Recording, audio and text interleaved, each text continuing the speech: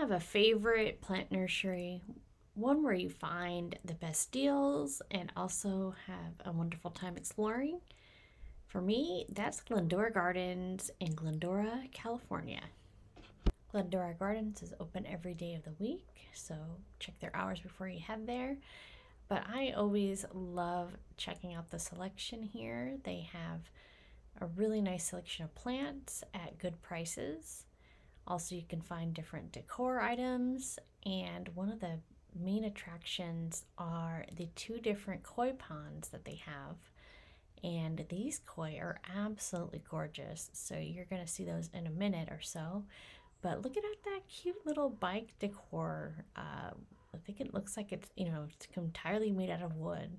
Um, they have some really clever and creative methods of displaying plants here. But here's one of the biggest attractions these gorgeous koi that they're going to start flocking to you. I didn't have any food to give them, and they don't have any food available for them, but they think that they're going to get fed. Um, you can also see a couple turtles over there uh, off in the island.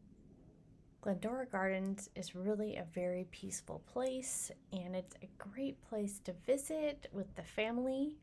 Sometimes on the weekends, they even have people serving food there.